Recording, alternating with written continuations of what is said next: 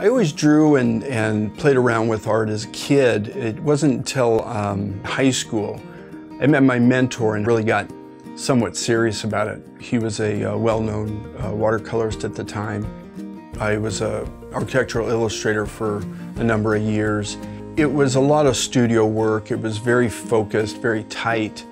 But as I grew as an artist, my philosophies changed, my style changed.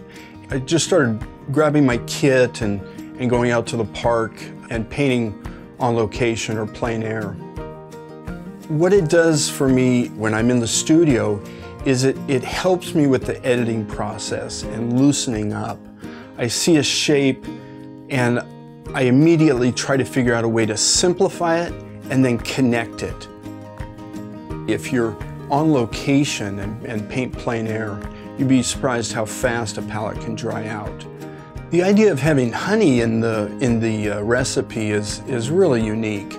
The honey constantly uh, is pulling in moisture, and so it keeps the paint really pliable and ready to go. The M Graham line, I find that the color intensity is much better than other products I've used before. The cadmium red, the cadmium red light, uh, the Indian yellow, the cobalt teal, or the uh, maroon.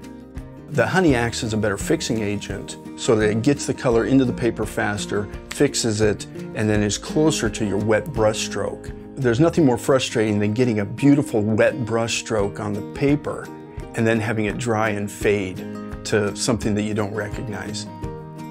One thing you learn over 20 plus years of painting is what to use and what not to use. I, I buy quality sable brushes. I buy the paper I use because I know how it's going to react in certain circumstances. And probably most importantly, the color.